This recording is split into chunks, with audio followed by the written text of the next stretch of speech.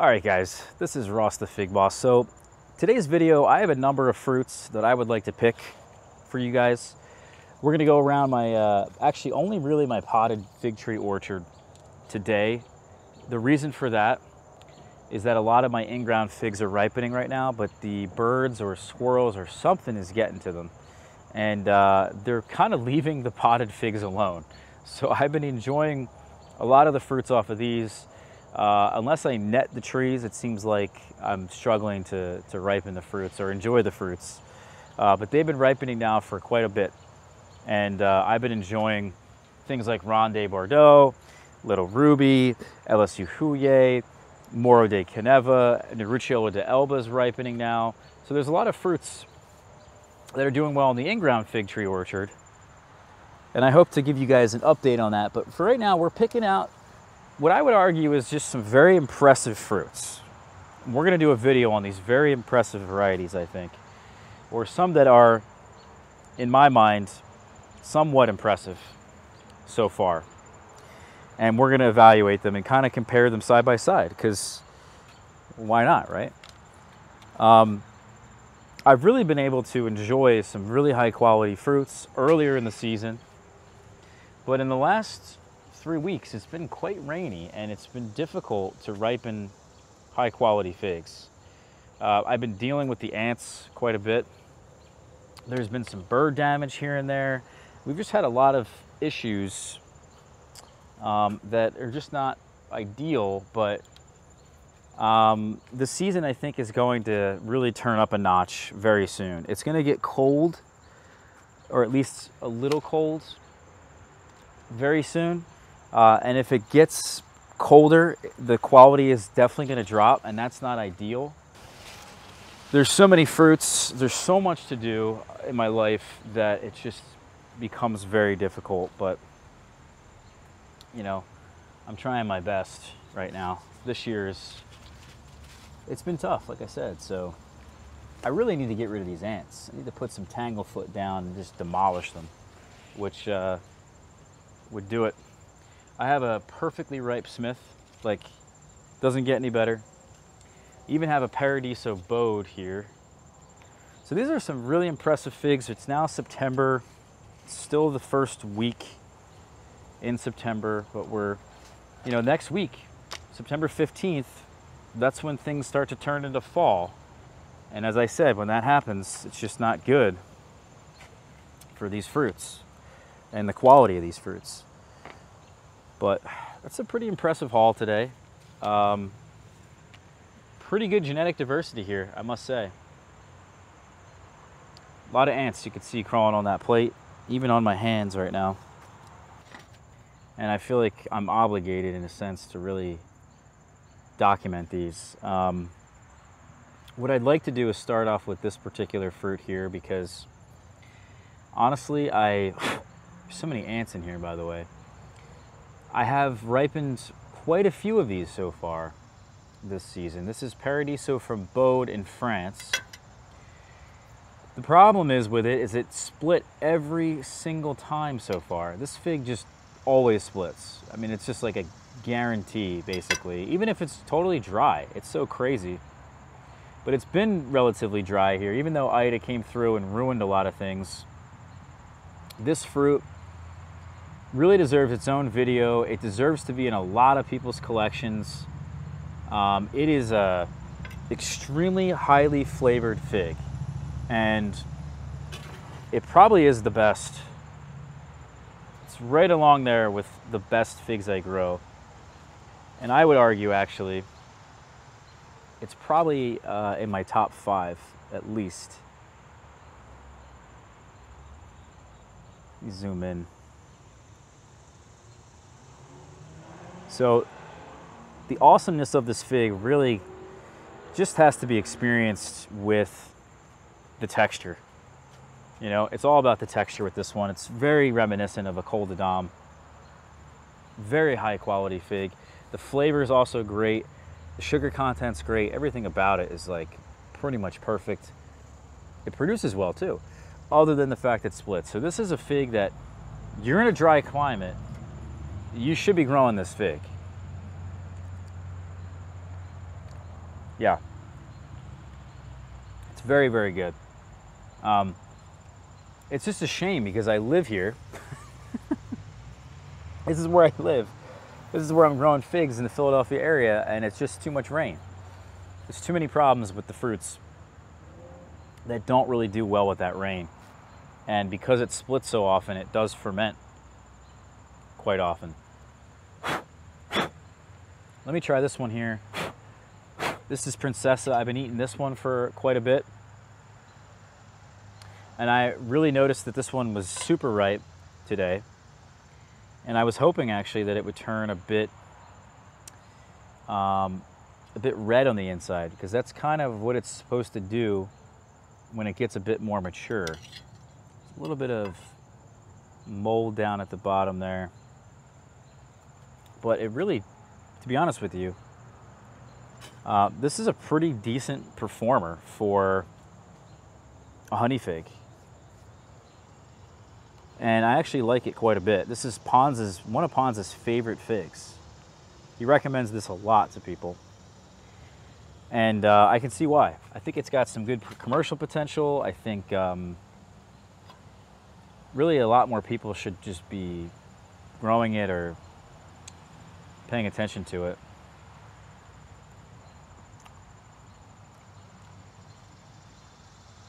Yeah, I mean, it's up there with the best of the honey figs in terms of flavor. It's quite big. I really like the pulp on it. The texture is actually quite jammy.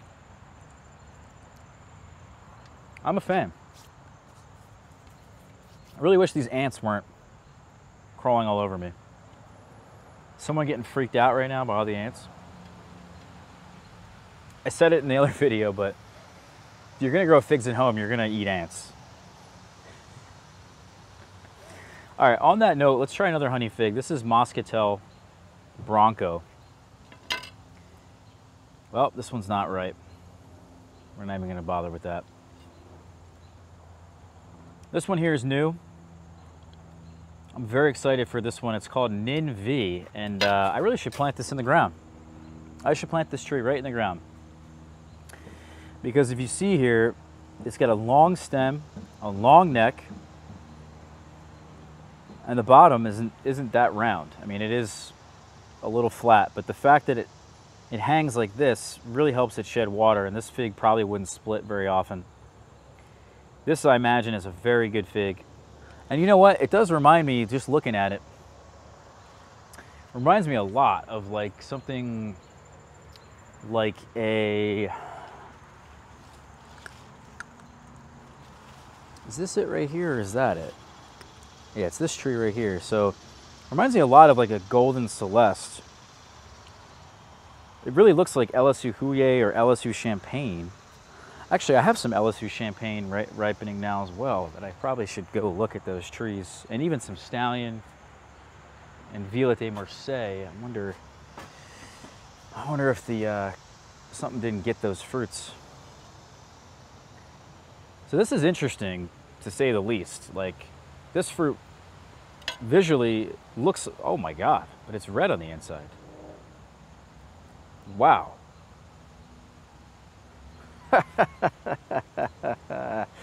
this guys is a this is a this is a great find. Let me tell you. You have no idea.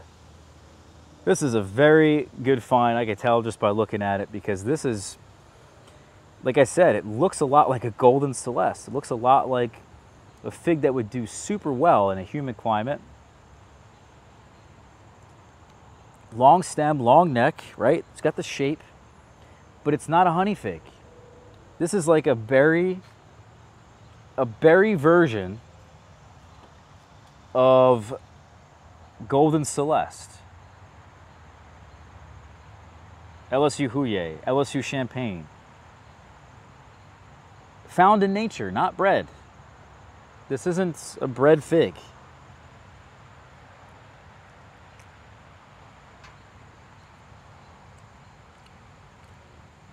Yeah. It doesn't taste like a honey fig to me. Huh. Wow. super impressive variety. Let me show you guys the tree too. I'm gonna plant this tree in the ground. Wow, I was not, I was not expecting this at all from this variety. Um, here's actually the figs on the tree. Quite a few on this young tree. And it didn't really get established that well at the beginning of this season. It took a while. Even last year, this is a two-year-old tree from cutting. You can see now that I've pinched it a bunch of times and got it to really grow finally. It's started to be a lot healthier, the growth. It does have a little bit of FMV, but nothing crazy, not like some, some varieties. Here's the leaf pattern. Looks nothing like a Celeste. Looks nothing like an LSU Hollier. And uh, the fruits are perfect in shape. Wow. And the flavor's good. That's a, uh, that's a winner here, guys. Just discovering new winners. That was the first one I've ever tried off of that fig. So, yeah, I'm impressed. Um, this here, we, we've already talked about this in a separate video, but this is called Salato. And uh, this is also a new variety to me, so keeping on that same theme. New variety, very impressive. I ripened a lot of fruits. It checks all the boxes. And because it checked all the boxes, I actually planted it in the ground before even tasting it. But now that I've tasted it, it's even better. And this fruit's just ridiculous it's a very, very good tasting fig. I'd say it's probably better than the one I just had. The one I just had isn't as ripe as this. So I wonder.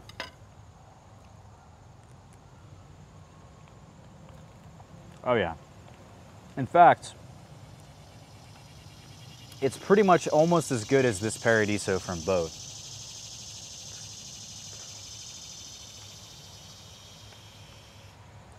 Yeah. The problem is the Paradiso from Bo, if I had the right climate, it'd be a better tasting fig. But in their current states of ripeness, they're right on par. All right, let's do the Smith. This is gonna be mind-blowingly good. I mean, this thing's like basically dried up. The ants are in here, but this is a dried, almost like a dried Smith.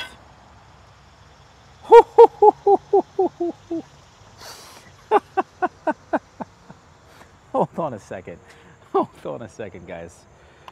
Oh my God, this looks ridiculous. Let me, show you guys the, uh, let me do a reveal here.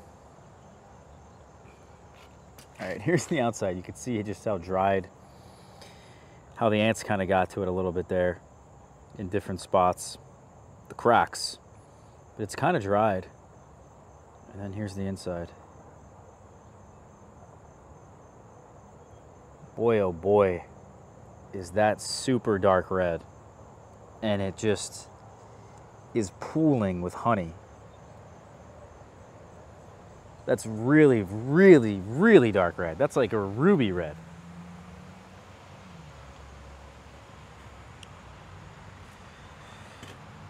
Wow. Well, guys, you want to ripen high quality fruits, you better listen to me. Because you ain't doing this if you have the wrong practices. You live here, you don't live in the perfect fig climate, you want to have the experience of this. It's not enough to just grow the variety. You got to have the right practices, guys. It's really that simple. We don't want to be overwatering our fruits, our, our trees. A lot of people get these big trees very quickly, and that's great. Uh, a lot of people, you know, see a big fig tree and they think, oh, that's awesome. You don't want a big fig tree. You want the tree every year to grow very slowly. The more it grows, the more fruits it's going to produce, which is great. You want to have more fruits? That's your thing, right? But they ain't going to be as good as this. I'll promise you that. Um, there is no, pretty much, there is no debating that. Oh my.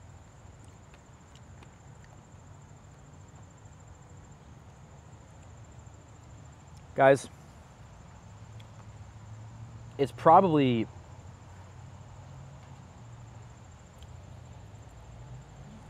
in terms of just flavor alone, because it, it, the texture is not perfect what I like. It's not as thick as I like. It's very syrupy this time around. I think when the temperatures cool down, the figs get a bit more syrupy and juicy. And then when the temperatures are warmer, uh, the figs tend to be a bit more drier on the inside and they have a thicker texture to them. But that was easily, I think, the best flavored fig I've ever had. Well, maybe not ever, but this year. Let's just say this year. Yeah. And it's not even close. It's not even close. Smith is just like out of this world good, guys. It's just the truth. This is, by the way, I have different sources of Smith, and some people believe there's different strains of Smith. This one comes from, uh, this is a Becnel.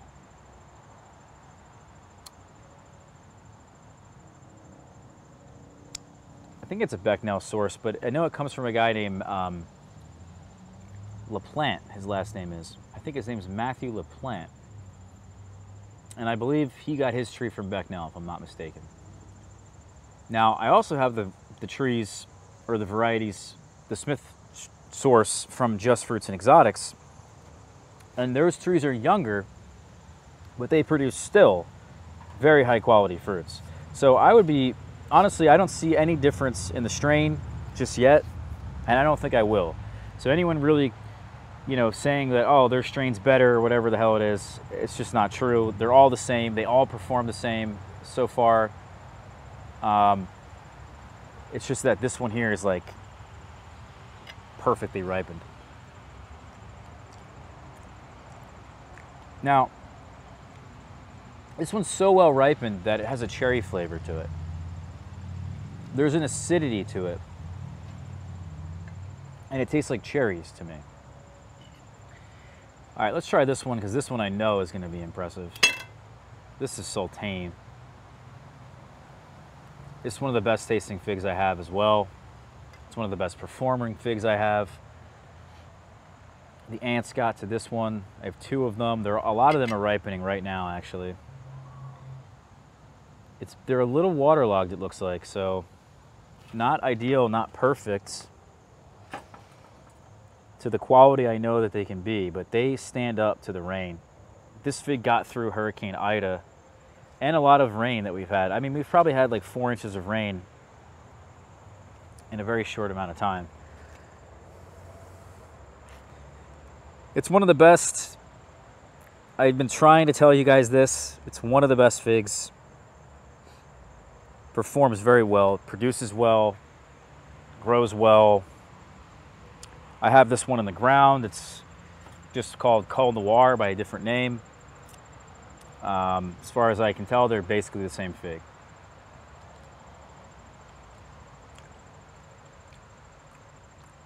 Very good. A little watered down, as I said. That one's much better. A bit more ripe it's a little watered down because you can tell, you can, I can visually see it, is the exterior of the pulp is a bit translucent in color. Especially down there. See that kind of down there in the bottom left? It's sort of red towards the center, and then as it goes toward, out towards the exterior, the edges of the fig, it's quite translucent. And when it has that translucent color to it, I guess that's a decent way to describe it. It's translucent, but um, that's when you know that it's uh, it's got a little bit of too much water that has basically been absorbed into the fruit. It's not like you know it was too much moisture in the soil. It's it's really a lot of a lot of that has to do with the rain hitting the fruits. Yeah. So here's a Black Celeste. This is the this is the gem. I mean, this fig is just a friggin' gem. Look at this thing. Every single time it has this amazing dark pigmentation to it. Every fig I've ripened this year for the most part, and when it's ripe, consistently gets this awesome purple, dark pigmentation to it. It's a very beautiful fig. It's probably the most, it is the most beautiful fig I have inside and out. Hmm. That's good.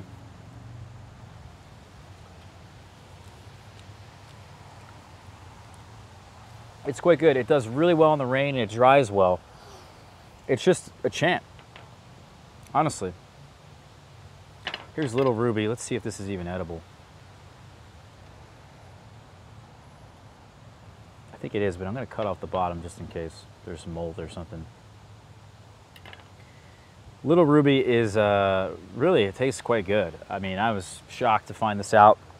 It doesn't perform well because it has a very open eye.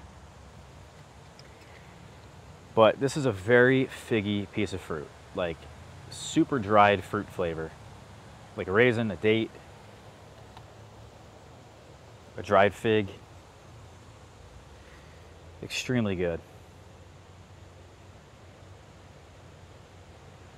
bunch of dead ants in here. They get in this fruit very easily. Yeah. Holy crap. It actually was very good. You know what's weird is that this this fig has pretty much the most flavor. It's right up there with Smith in terms of just how much flavor it has. So it doesn't get enough credit in that sense in the flavor department.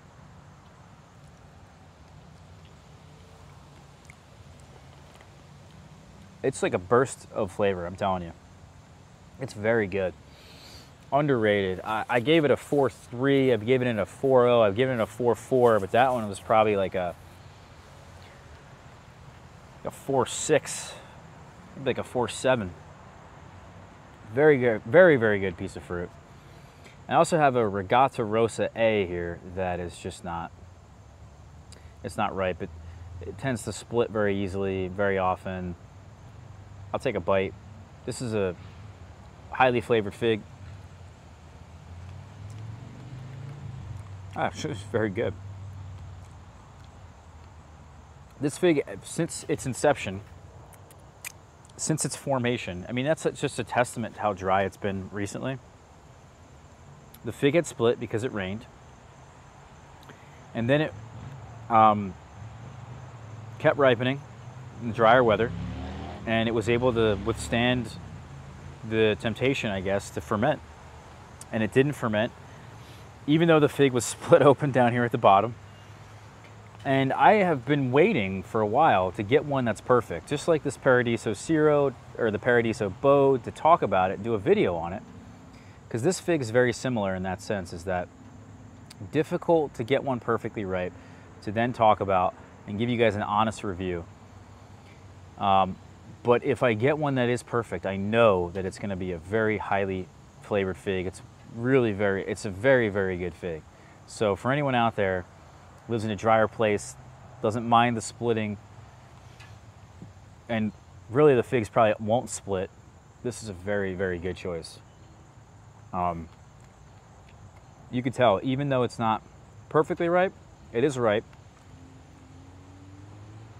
And there's a portion of it here that has just been exposed to the outside elements this whole time, it's still very, very good. Yeah, I mean, I'm happy, guys. I don't know about you.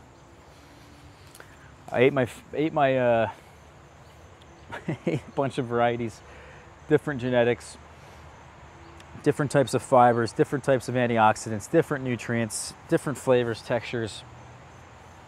I love it. That's why we do this. For that awesome experience, growing all these crazy varieties and all these crazy figs. Do you have to do something like that? No. You want to try an interest, something different, something interesting? Then yeah, you should grow some different varieties. So we'll see you soon. Thanks for watching. This is a good week, I think, to get these uh, this video out. And I probably, if it stays a bit dry, it's supposed to rain tonight. But after tonight, if it stays dry, I probably can do another video, more videos like this, where I have a lot of fruits at one time We haven't been doing that much this year. We'll see you guys soon. Take care. Thanks for watching. Check out our blog, figboss.com. You got this far, hit the subscribe button. We'll see you guys for the next one. Take care.